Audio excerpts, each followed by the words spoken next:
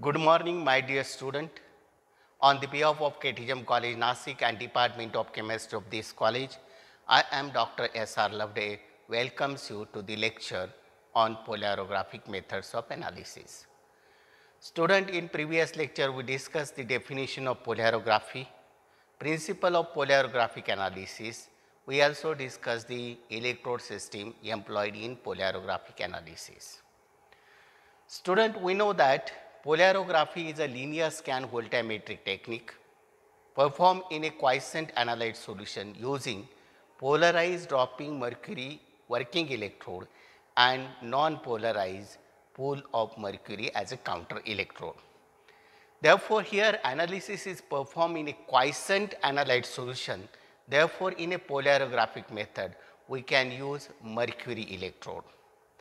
Mercury is a, metal and that is present in liquid form. Therefore, we can maintain the electrode nature of the mercury in a quiescent analyte solution. Therefore, dropping mercury electrode can be used as a working electrode in polarographic analysis. Therefore, working electrode in polarographic analysis. Working electrode in polarography. As we know that polarography perform in a quiescent analyte solution and therefore mercury electrodes are electrodes are allowed in polarography. And here the dropping mercury electrode, dropping mercury electrode is used as working electrode. Dropping mercury electrode is is used as working electrode in polarographic analysis. We know that working electrode is a electrode on which analyte reaction takes place. And therefore, in polarography, dropping mercury electrode is used as a working electrode. Now, we discuss the construction and working of this dropping mercury electrode. Mercury, sorry, dropping mercury electrode consists of an elevated mercury reservoir and which is connected to a 10 centimeter glass fine capillary. Here this is a 10 centimeter glass fine capillary which is connected to a mercury column and to a mercury reservoir.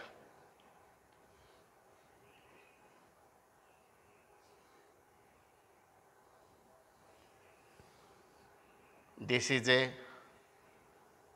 plastic tubing. By this plastic tubing or mercury reservoir, we can adjust the flow rate of this mercury. This is a mercury column and here lower end of this capillary is deep into the analyte solution and that act as a site for redox reaction. Therefore, this is a 10 centimeter glass capillary having internal diameter 0.05 mm. This is a analyte solution, analyte solution and here this is a HG drop that is a site for reaction, particularly redox reaction. This is mercury column, HG column. This is a platinum wire and here electrically This platinum wire have a negative potential. Therefore, this is a cathode. Cathode. This is mercury reservoir.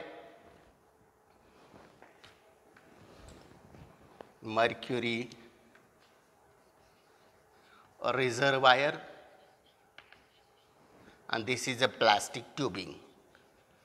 Plastic tubing or plastic tube. This is the construction of dropping mercury electrode. Dropping mercury electrode consisting of 10 centimeter glass fine capillary which is attached to the mercury reservoir as well as a mercury column.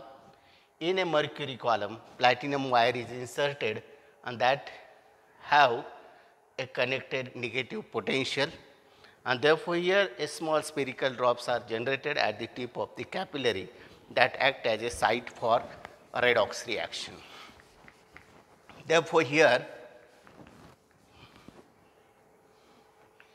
DME, DME consists of consists of an elevated elevated mercury reservoir connected to connected to 10 centimeter glass fine capillary capillary the internal diameter the internal diameter of the capillary is 0.05 mm. Here lower end, lower end of the capillary is dipped into, dipped into analyte solution analyte solution. The small spherical drops, the small, the small spherical, spherical drops of Hg generated, generated at the tip of the capillary of the capillary act as a acts as a site for a redox reaction. This is a construction of dropping mercury electrode. DME consisting of an elevated mercury reservoir connected to 10 centimeter glass fine capillary having internal diameter 0.05 mm. Lower end of the capillary is deep into the analyte solution. The small spherical drops of mercury generated at the tip of the capillary act as a site for a redox reaction. Both the drop time, drop time denoted by capillary, uh, sorry, denoted by letter T and mercury flow rate, mercury flow rate denoted by small m are altered by changing changing the height of the height of mercury reservoir mercury reservoir. Drop time, drop time is the time between time between two successive successive drops of mercury falling in the solution, falling in the solution.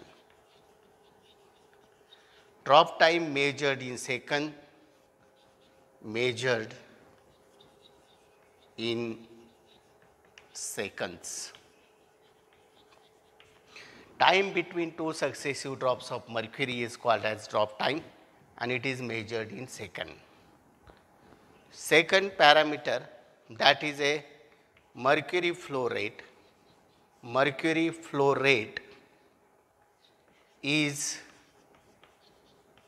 is the mass of mercury, mass of mercury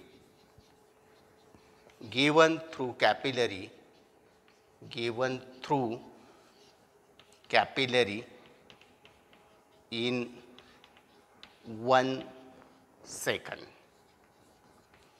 Therefore, flow rate is measured in milligram per second. Therefore, in polarographic analysis, the rate of redox reaction is totally governed by the surface area of this mercury drop generated in the body of the solution. Initially, mercury drop have a small size, then rate of reaction is low. As the size increases and it reaches to maximum, the redox reaction takes place on that surface area that will be more. Therefore, here the redox reaction in case of polarography totally governed by the formation of mercury drop and mercury flow rate. And therefore, here all the redox reaction or reactions are controlled by the mercury flow rate and the drop time. Therefore, when we are measuring the current during the reduction process, that current is affected by drop time and mercury flow rate. Student, now we discuss the advantages and disadvantages of this mercury electrode that is dropping mercury electrode. Advantages of dropping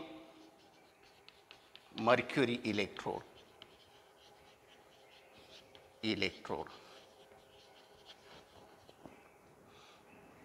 DME. First advantage is that we can use DME as a working electrode, working electrode in a potential range, in a potential range from plus 0.4 volt to to minus 1.8 volt. Therefore, here within this potential range, we can use dropping mercury electrode as a working electrode for polarographic analysis. Therefore, substances those undergo either oxidation or reduction within this potential range that can be that can be determined by this polarographic method. Second thing is that as the mercury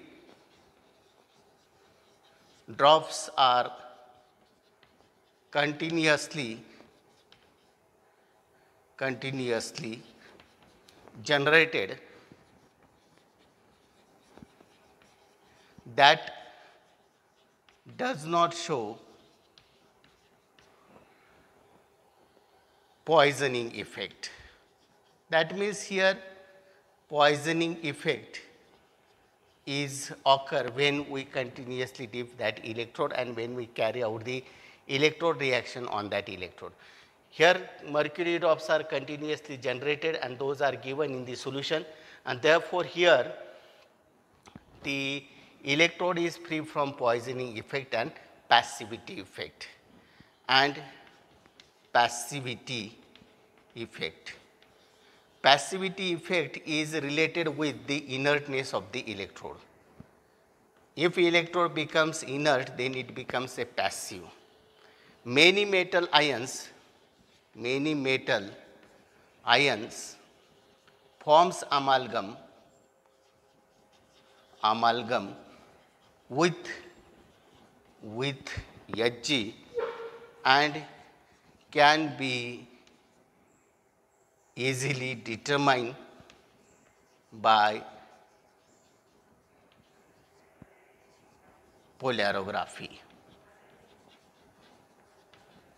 Therefore, formation of amalgam that is a alloy of mercury with other metal and mercury have this property therefore amalgam formation reduces the reduction potential of metal ion and here in addition to this alkali metals alkali and alkaline earth metals also alkali metals are also reduced at DME.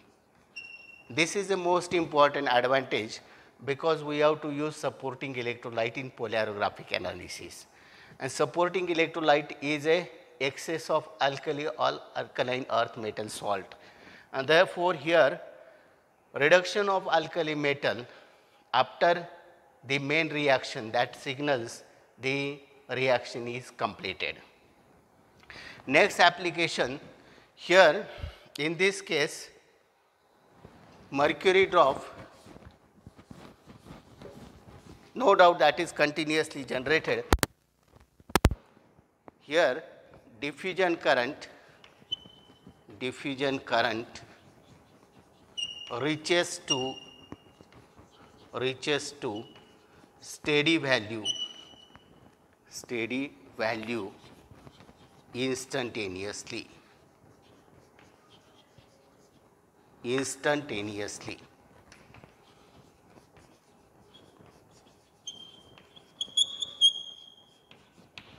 Therefore here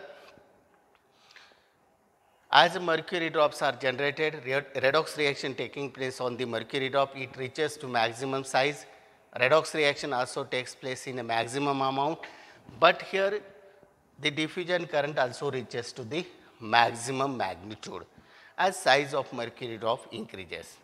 Therefore, here mercury sorry diffusion current reaches to steady value instantaneously. This is the most important advantages of this dropping mercury electrode. All these are the advantages of dropping mercury electrode and therefore, it is the best electrode for a polarographic analysis. But along with these advantages, there are some disadvantages of dropping mercury electrode.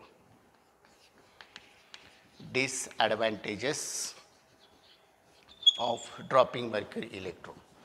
First of all, we can use DME only within this potential range. Therefore, here this is a limit to us to determine the metal within this. DME is used only in potential range range from plus 0.4 volt to minus 1.8 volt. When potential, when potential is more positive, more positive than plus 0.4 volt, mercury undergo, mercury undergo oxidation. Therefore, here mercury metal itself undergo oxidation when potential is more than plus 0.4 volt and when potential when potential is is more negative than more negative than minus 1.8 volt the electrolysis of water takes place electrolysis of water takes place. And therefore, this is a range in which we can use DME as a working electrode for a polarographic analysis. Second thing is that surface area, surface area of HG is continuously changing, continuously changing and so, so it increases, so it increases the charging current in a polarographic current, increases charging current in diffusion current. As size is continuously changing, initially some potential is applied for or utilized for to charge up the mercury drop and then charging current is contributed into the diffusion current. That is a error associated with a polarographic measurement. Here we know that mercury is a poisonous metal and therefore very much care is taken for handling. Mercury is poisonous metal Therefore, very much care should be taken for handling mercury drop or mercury electrode and the capillary which is very fine that get be that get plugged. The capillary may get